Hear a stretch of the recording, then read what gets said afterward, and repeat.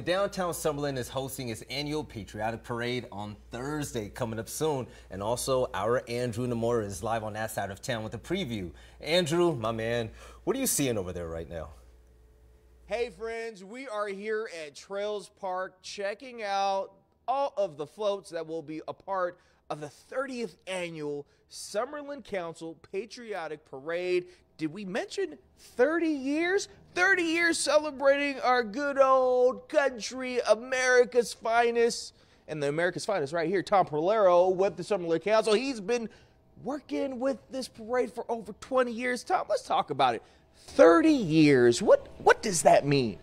It's just great to be able to uh, provide something for the community that they've embraced so much, and now that it's moved, you know, kid people that attended the parade as children are now bringing their children, and just to see that family atmosphere and community atmosphere, it's very very rewarding and something we enjoy doing.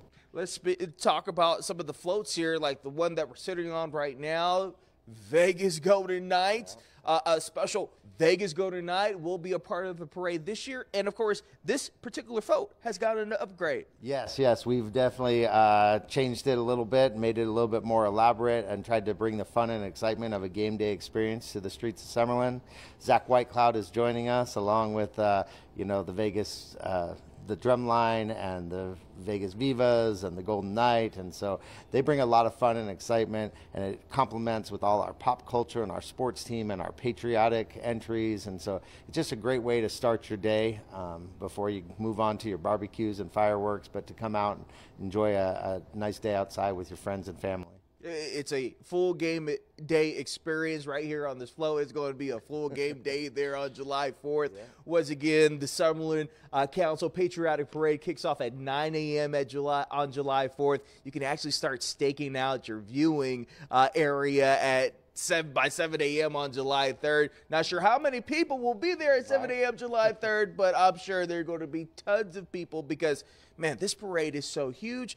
50,000 attendees, over 2,500 uh, people a part of the parade with 500 volunteers. It is incredible and it keeps on getting bigger and better. Tom, thank you so much for joining yeah. us this morning. We really do appreciate it. Once again, we'll have more details about the Summerlin Patriotic Parade on our sister station's website, news3lv.com. But for now, friends, we will send it back to you all in the studio. Can't wait. Can't wait. Andrew Namura giving us I that love look. a good parade.